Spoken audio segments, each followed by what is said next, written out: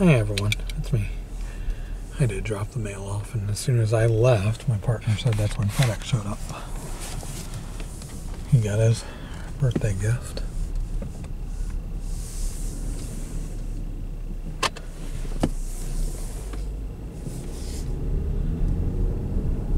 It's flowers, a little container of cookies, a little bear,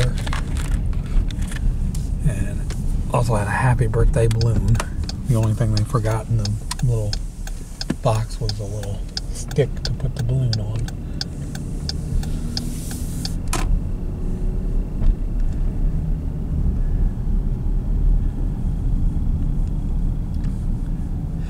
And the flowers is a rose plant. It actually says that it becomes a rose bush. It was a small plant. They actually had a bigger one, but the bigger one we wouldn't have room for. So.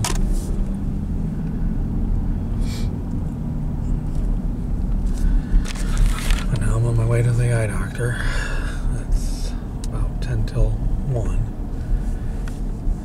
And it takes around 25 minutes to get to Defiance, so it would be 5 minutes before my appointment. Anywhere between 5 to 10 minutes before my appointment, so. I'm going to stop it right here. Please like, please subscribe, and I'll talk to you guys soon. Have a good day. Bye.